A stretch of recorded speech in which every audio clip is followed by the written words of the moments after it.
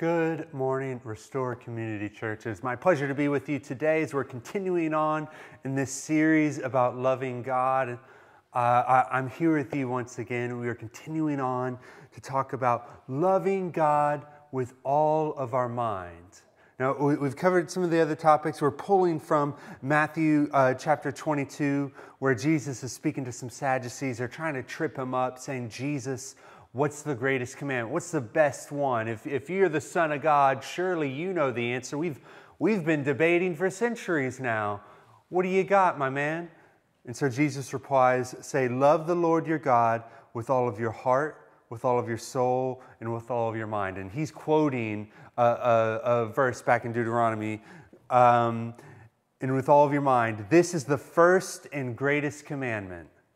And the second is like it love, the, love your neighbor as yourself. All the law, all these rules, your entire culture, Jesus is saying here, all the law and the prophets hang on these two commandments. So here we are. We, have discussed loving God with all of your soul, with all of your heart. Here we are with all of your mind. Uh, now, this, this reminds me of when it comes to loving with your mind, we, can be, I can be a very intellectual person. My wife tells me that she wishes I would show emotion more. Like I, I, I think I show joy really well. But when it comes to, to an argument, I somewhat I put a mask on, I calm, I, I breathe, and I try to show as little emotion as possible. And sometimes she's like, Dustin, I wish you would show me what you're feeling on the inside so I get so caught up up here and I shut down what's going on here. And the same thing in church. We go to church and we experience the worship service and we're moved. And we hear the sermon and we're moved. And we go and we pray at the end if there's a call to come to the altar or in our seats and we're moved. And somehow it didn't reach higher than here. The lesson might not have reached our brain. Or if it reached our brain, as, as I've said before, it goes in one ear and out the other. It, it, it might not follow us. I can speak from experience of listening to a sermon and a mere hour later, what, what was the topic about? I remember how I felt in the moment, but what was that verse the minister was speaking from? And, and, and I would draw blanks. Many a time I've spoken to people, uh, I, I'm not a huge fan of the word apologetics. I think it's just this weird Christianese, our own little language that we've, we've come up with, uh, and it makes people feel excluded, but apologetics, about knowing the, the, the beauty and artistry that God has used to create this universe, to the, the mirroring in Scripture how everything was set up, and it is factual and it is true. So this apologetics covers all that and, and i've spoken to people about apologetics and members uh, of the church i was a part of and they were like well we, we just don't mess with that. That's, that's not our thing you know? And so i'd ask well what if somebody comes to you and has questions what if somebody comes to you like okay this jesus cat would tell me about him like uh, how do you know any of this is real and i've got the answers well that's the pastor's job. I'm not a church leader. What? That, that's their job. Maybe you've thought this yourself, or maybe I'm just projecting. Maybe you've heard that said by somebody else. But I'm here to tell you that in, in, in Matthew chapter 22, Jesus is telling us it's our job. Sometimes it's so easy to love with our heart, to love with the very breath and life in our body, our soul. But in our mind, it's a little harder because in our mind, we have to get, pay attention. In our mind, we have to study, we have to memorize. It, it's intentional. With the, loving with our heart, it's in the moment, or it can be in the moment. You get swept away, and all, all the feelings the feelings, the, the warm and fuzzy, the goosebumps. You just, you feel the warm embrace of Christ, and then well, I really got this TV show to watch. You don't understand. Oh, my schedule this week, I have so many meetings. I got to study for them. I got to prep for them. Whatever it may be, we just sometimes we shut our mind away from God. God, you can have every other piece of me except my attention. That, Maybe I'm only speaking to myself here, but that's what I'm feeling that God is calling us to is to love Him with every fiber of our being. That He's not just calling to our emotions, but to our intelligence. To love Him with everything we have. In 2 Corinthians chapter 10, uh, Paul is talking about how we need to, uh, if I can quote it here, if I can find if I can find my place, I seem to have lost my place here.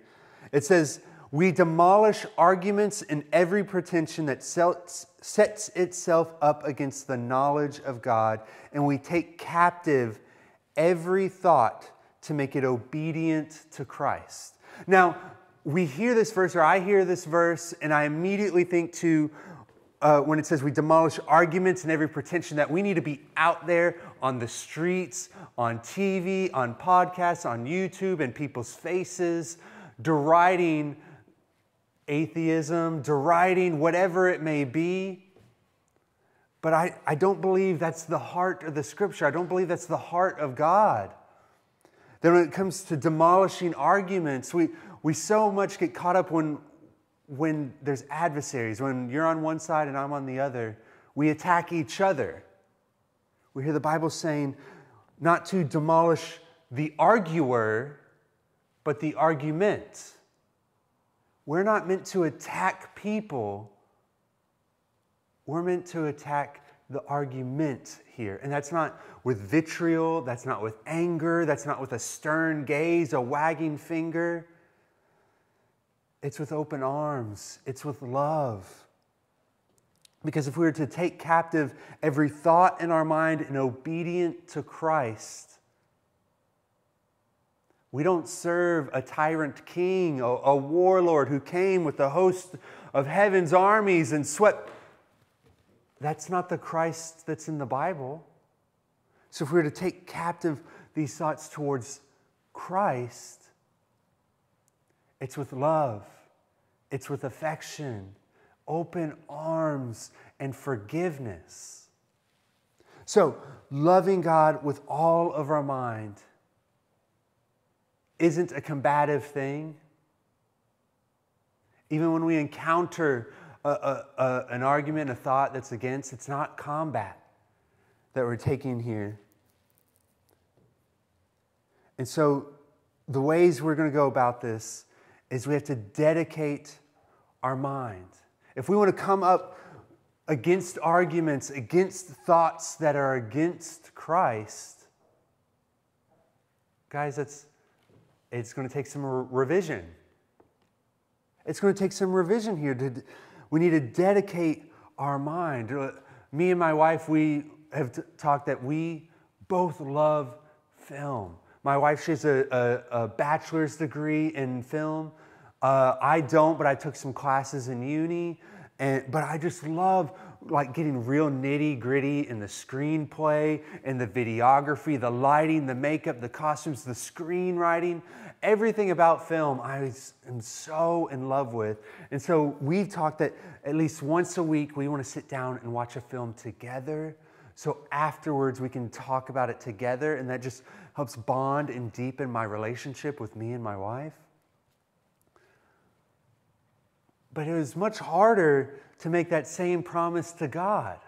And I think a lot of us, it's a lot harder to make that same promise to God that God, I'm going to give you this time to study the Word, to read it, to process it, to know more about it, to know in and out. It's a lot harder. Well, isn't, isn't that's Ian's job, right? Uh, Ian's office is right behind this wall here. That's Ian's job, right? He's the lead pastor of Restore. He should know the ins and outs. But it's our job. Imagine, if you will, uh, a favorite person, somebody that whenever you meet them, they just bring joy to your heart. You just want to spend so much time with them. Now, if you have a if you have a partner, uh, we're going to exclude your partner from this. So you, they don't get to count. So think of a friend. Think of maybe even a family member, your favorite person. Why are they your favorite? What is it about them that brings you so much joy? Maybe if you're with them right now, tell them a, a, a favorite thing that you know about them that oh, just brings joy to your heart. I'll take, I'll take five seconds. Maybe you can compose a text if they're not there with you.